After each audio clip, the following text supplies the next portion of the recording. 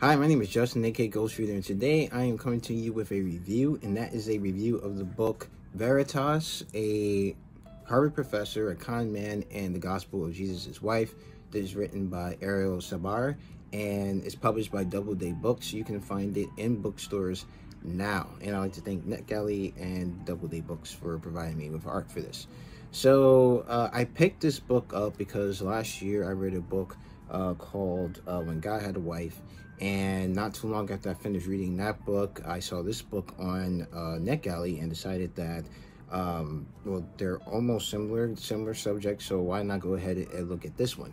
Uh, and uh, I was not prepared for uh, the story that I found uh, in this book. So I thought that it was just going to be the run-of-the-mill uh, professor been, has been duped by a uh, forgery that would have been a very big deal uh, in uh, their in their field.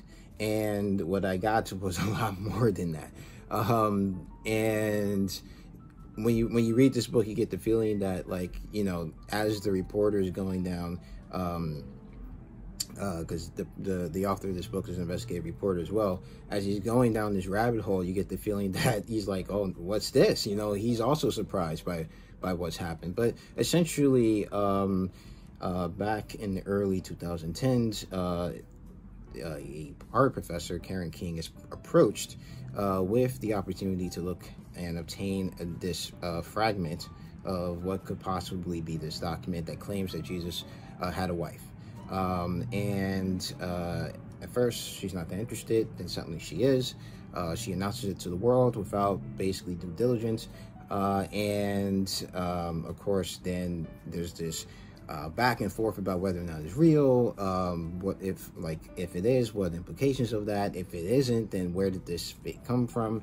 Um, and so the book details that story um, but it also provides uh, profiles the the professors who got duped, um, and also the con man uh, who came up with um, the forgery, and the con man himself. I mean, the the the background about the con man himself was just like whoa like the way that the author puts it forward it's like a it's a very riveting read you almost feel like you're reading like a like a thriller at times um but you know this story um, this whole situation kind of comes down to, uh, you know, as a professional in the profession, when you are a, uh, like historian, for for example, you have a um, you have a responsibility to uh, give the truth and not your version of the truth, but uh, or what you want to be true because you think that it may achieve a particular goal um, for whatever agenda that you're behind, but because the truth is the truth.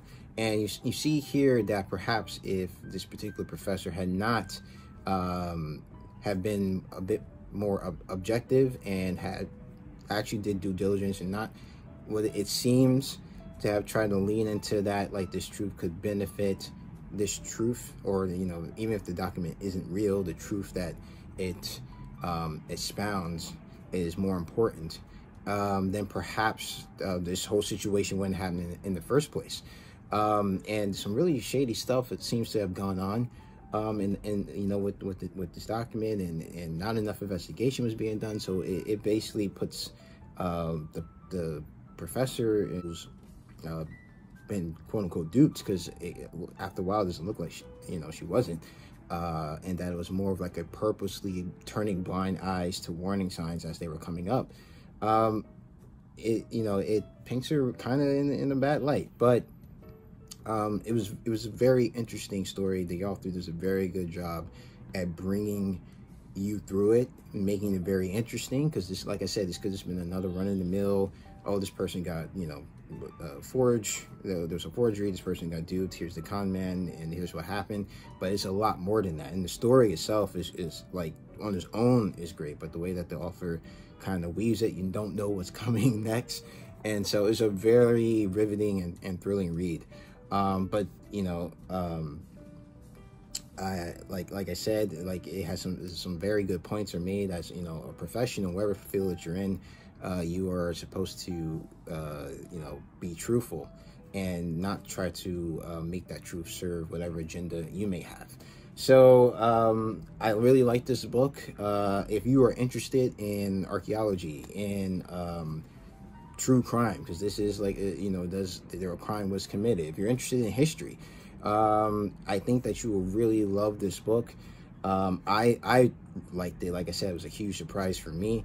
Uh, I give this book a five out of five stars. It definitely makes you interested uh, uh, in the subject matter, grabs you and, and, and holds you. Uh, it's just for me, it was it was a page. It was quite the page turn. If you think you you would be interested in this book, let me know down in the comment section uh, below. And that's going to be it. So if you like this video, please hit the like button. If you want to see more videos from me, please subscribe. You can follow me on Twitter at GhostReads28, on Instagram at Justin the Ghost Reader, and on Goodreads. The link to that is down in the description box below. So as always, keep reading and Black Lives Matter.